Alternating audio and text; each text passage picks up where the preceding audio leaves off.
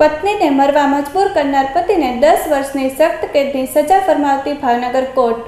કાળિયાબીડ ખાતે રહેતા રાધાબેન ચૌહાણ દ્વારા હરેશ કલ્પેશ પરમાર, કલ્પેશ મંજી પરમાર, ઉષાબેન કલ્પેશ પરમાર અને મિલન કલ્પેશ પરમાર સામે સિંહોર પોલીસ મથકમાં પોતાની પુત્રી કાજલબેનને શારીરિક, માનસિક ત્રાસ આપતા પુત્રીએ ઘરે ગળા ફાંસો ખાઈ આપઘાત વહોરી લીધો હોવાની ફરિયાદ આપેલ.